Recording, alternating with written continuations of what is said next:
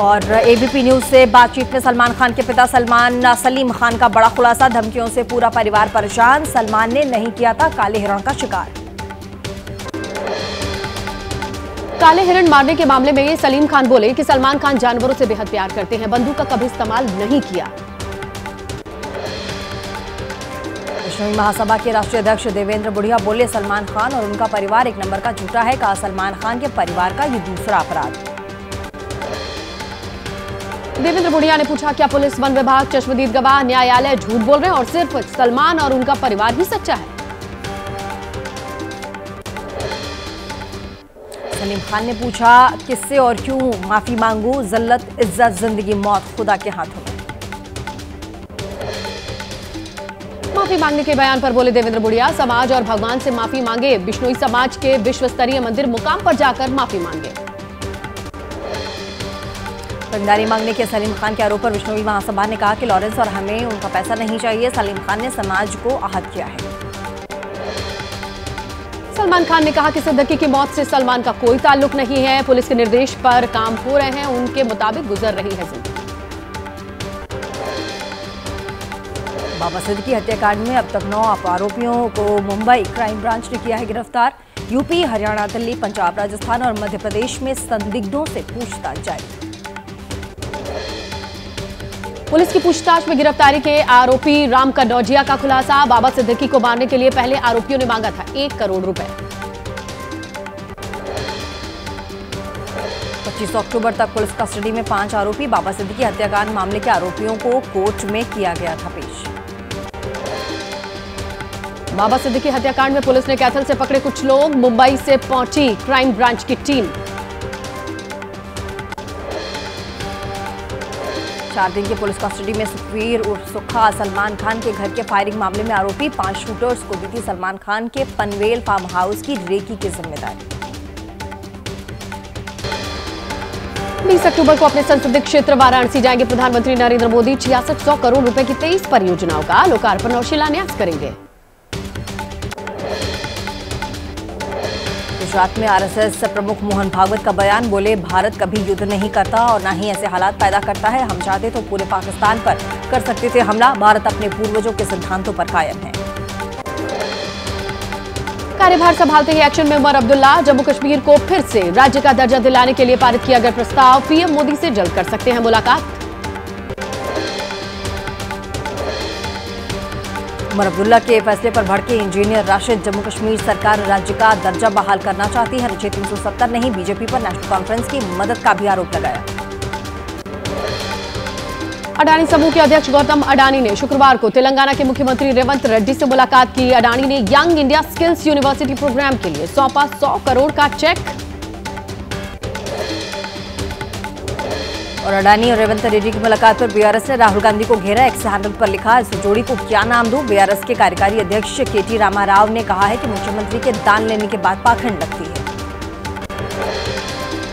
चंडीगढ़ में हरियाणा कांग्रेस विधायक दल की बैठक हुई। नेता चुनने का फैसला आला कमान पर छोड़ा गया। पर्यवेक्षकों ने विधायक से वन टू वन रायशुमारी की रिपोर्ट लेकर दिल्ली रवाना हुए पर्यवेक्षक। हरियाणा में पद संभालते ही एक्शन में सीएम नायब सिंह सैनी अनुसूचित जाति के आरक्षण में कोटे के अंदर कोटा लागू, सुप्रीम कोर्ट में शामिल अन्य माफ़ कीजिएगा, अनुसूचित जाति में शामिल अन्य जातियों को भी इसका फ़ायदा मिलेगा। हरियाणा में कोटे के भीतर कोटा लागू होने से भड़की बीएसपी सुप्रीमो मायावती। दलितों को बांटने का आरोप लगाया। सैनी सरकार के फैसले को बताया आरक्षण विरोधी निर्णय। चंडीगढ़ में अपराधियों को सीएम नायब सिंह सैनी की दो टूक, अपराधियों के खिलाफ यूपी मॉडल अपनाएँगे या तो राज्य छोड़ दें या फिर सुधर जाएँ, नहीं तो हम सुधार कर देंगे। आइए चुनाव से जुड़ी जो खबरें हैं, फटाफट देख लेते हैं।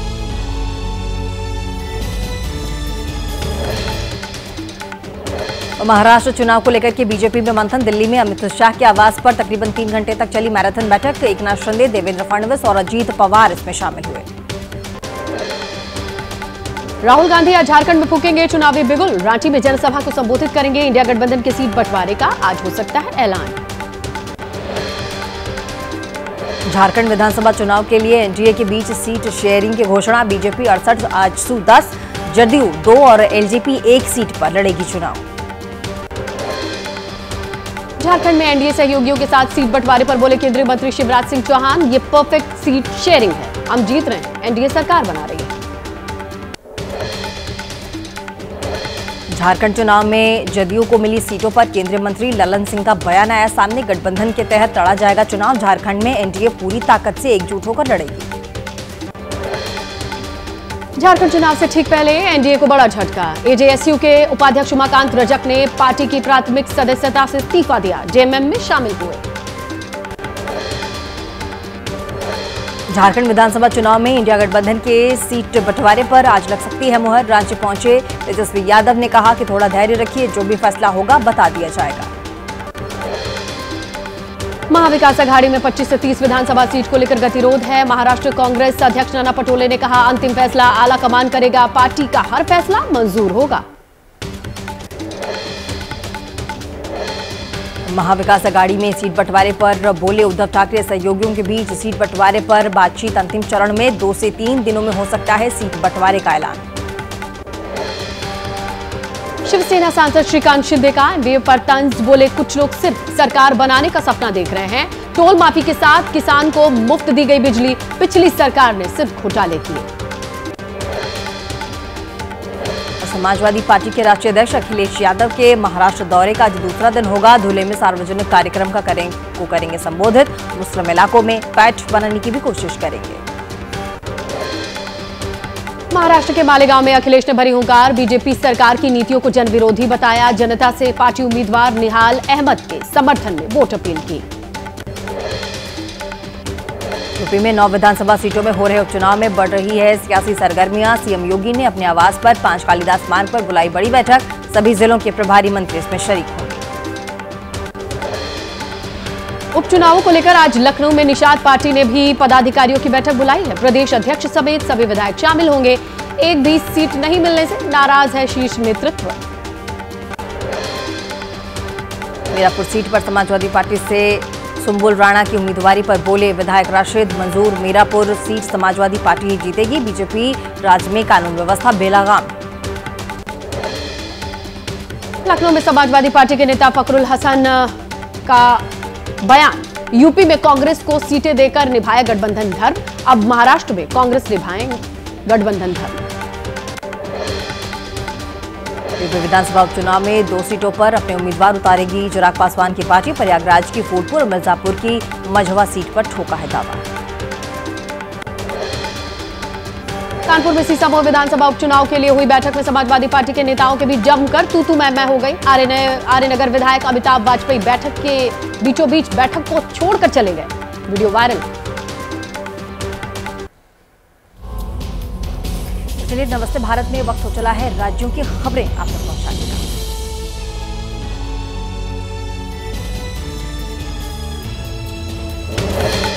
महाराज हिंसा मामले में कार्रवाई, अवैध निर्माण को लेकर के मुख्य आरोपी अब्दुल के घर। पीडब्ल्यूडी ने नोटिस चस्पा किया। अवैध निर्माण को लेकर कई दुकानों और घरों पर नोटिस चिपकाए गए।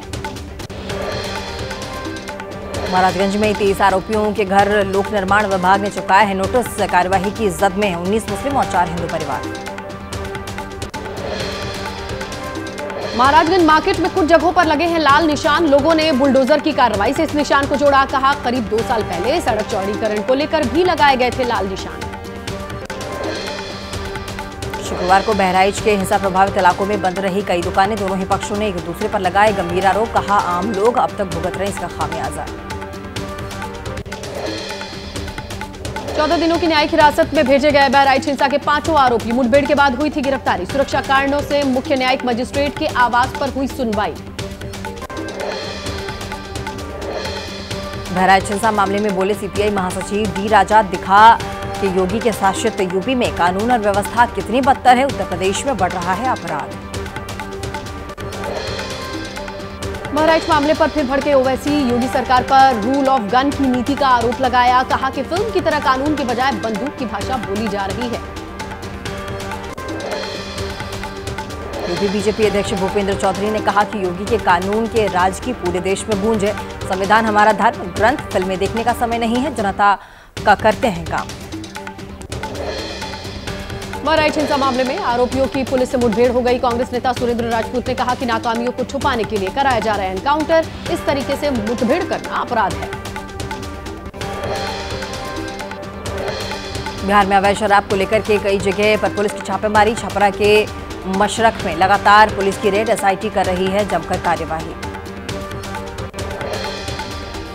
तेजस्वी यादव ने एक्स पोस्ट करके लिखा, जहरीली शराब से सौ से अधिक हत्या होने के बाद भी पटना में बीचों बीच ठहाके लगाकर हँसते मुख्यमंत्री और उनके कैबिनेट मंत्री। ये बिहारियों और लोकतंत्र को चिढ़ाना है। तेजस्वी का नीतीश पर बिहार नहीं संभाल पाने का आरोप, केंद्रीय मंत्री ललन सिंह ने कहा कि उनकी बातों को गंभीरता से लेना ही नहीं चाहिए। जहरीली शराब त्रासदी पर आरजेडी नेता मनोज कुमार झा ने कहा कि सरकार ऐसी दुर्भाग्यपूर्ण घटना में भी छिपाना चाहती थी आंकड़े।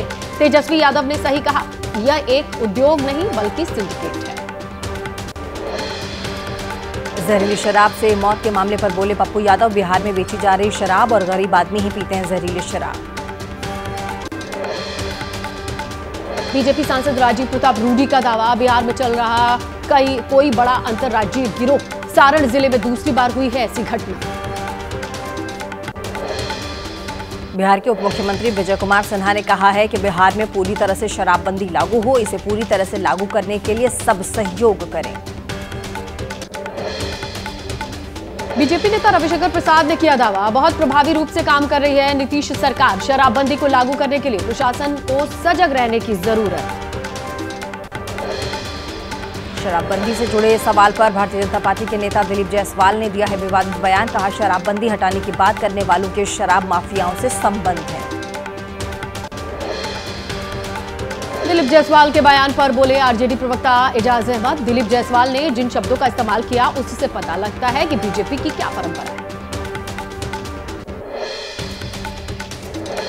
राष्ट्रीय लोक मोर्चा पार्टी के राष्ट्रीय अध्यक्ष उपेंद्र कुशवाहा का बयान आया सामने, जहरीली शराब से मौत दुखद है। लोगों को समझाना चाहिए कि शराब पीने से नुकसान होता है।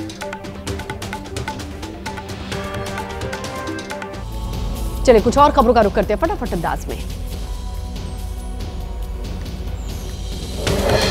पाँच विधायकों के नामांकन के मामले पर बोली कांग्रेस, राज्य सरकार के पास हो नामांकन का अधिकार, बीजेपी ने करार दिया है। राजनीतिक ड्रामेबाजी।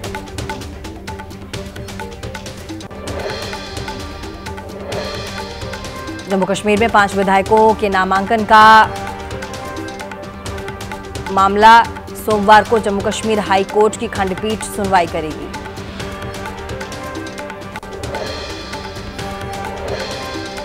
दक्षिण कश्मीर के शोपिया ज़िले में मिला बाहरी व्यक्ति का शव। पुलिस ने कहा कि आतंकवादी हमले में मारा गया है संदिग्ध, नई सरकार बनाने के बाद सामने आया पहला मामला।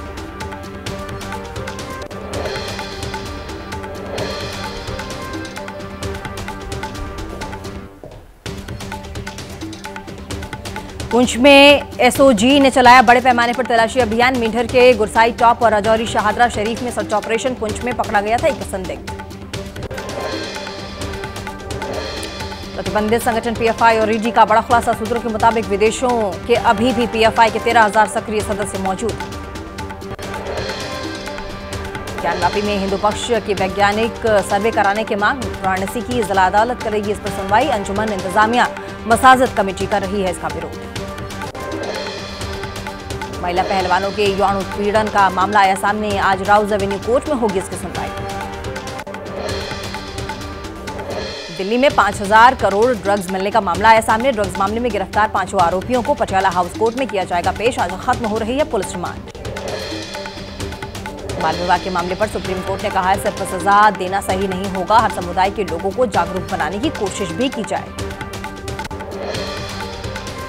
कोर्ट ने धन शोधन से जुड़े मामले में विधायक अब्बास अंसारी को जमानत दी है। कहा, जाँच पूरी हो चुकी है। आरोप पत्र पहले ही दायर किए जा चुके हैं।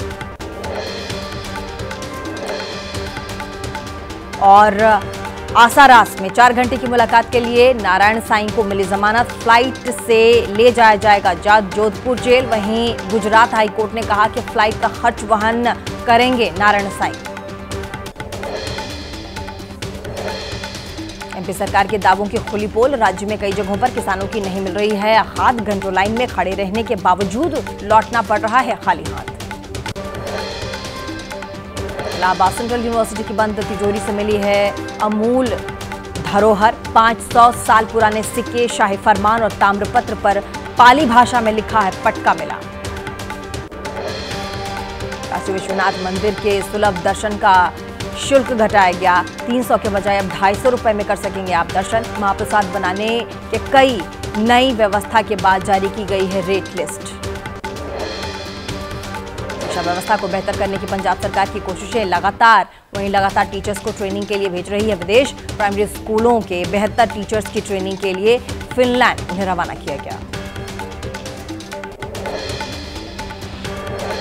यूपी के यूपी के बरेली में बीजेपी सांसद के करीबी निहाल सिंह गंगवार हत्या कट्टरपंथियों पर हमले का आरोपी, पुलिस ने आरोपियों पर घोषित किया है दस दस हज़ार रुपए का इनाम।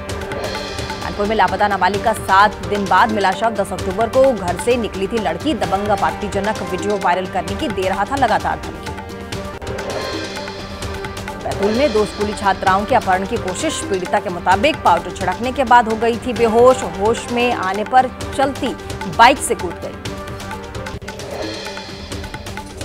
शेयर ट्रेडिंग में मुनाफा का झांसा देकर ठगी, चाय बेचने वाला 100 करोड़ की ठगी करने के आरोप में अरेस्ट 400 से अधिक लोगों की ठगी की गई है। बेंगलुरु में भारत और न्यूजीलैंड का टेस्ट मैच। भारत ने तीन विकेट पर दो से इकतीस रन बनाए। न्यूजीलैंड से अभी 125 रन पीछे भारतीय टीम।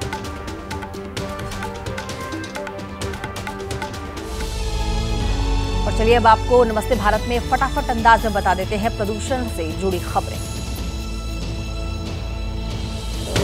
दिल्ली सरकार की लगातार कोशिशों के बावजूद यमुना में नहीं घट रहा है झाग, नदी के पानी में प्रदूषण कम होने से मिले संकेत, लेकिन अभी भी हानिकारक तत्व तो यमुना के पानी में।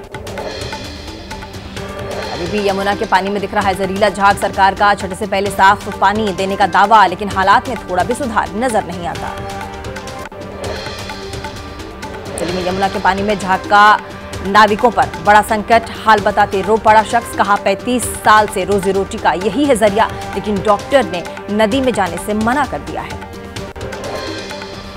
दिल्ली में बढ़ते वायु प्रदूषण को लेकर के मंत्री गोपाल राय ने आपातकाल बैठक बुलाई है। कहा, प्रदूषण कम करने के लिए लगातार किए जा रहे उपाय, दिल्ली में प्रदूषण के तेरह हॉटस्पॉट्स हरियाणा के कैथल में नहीं रुक रहे पराली जमाने जलाने के मामले, अभी तक सत्तानवे घटनाएँ आई हैं सामने, उनसठ मामलों में लगाया गया जुर्माना। कैथल के कृषि विभाग के अधिकारी के मुताबिक पराली जलाने से रोकने के लिए टीम किया गया है गठित, साथ ही जलाया जा रहा है जागरूकता अभियान भी।